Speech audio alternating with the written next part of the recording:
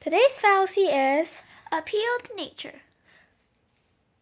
Example number one Herbal medicine is natural and vitamins are unnatural. Therefore, herbal medicine is healthier than vitamins for you. To explain that example, um, herbal medicine is natural but doesn't mean it's actually good for you. But just because it's natural, people that are in the sense of appeal to nature just uh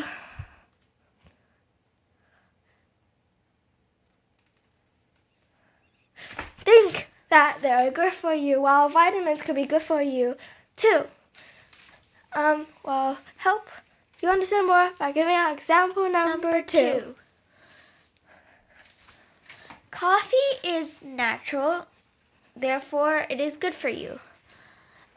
And that is example number two. Um, and which is not true because if you drink too much coffee, it is actually not good for you. There's a saying that if you drink or eat or have too much of something, it's not always good for you. Like anything, if you have too much. And not all natural stuff or things is good for you. And not all unnatural, Unnatural stuff, stuff are. Bad for you. There's some like unnatural stuff that is very good for you. hmm To conclude, appeal to nature is when X states Y and Y is natural.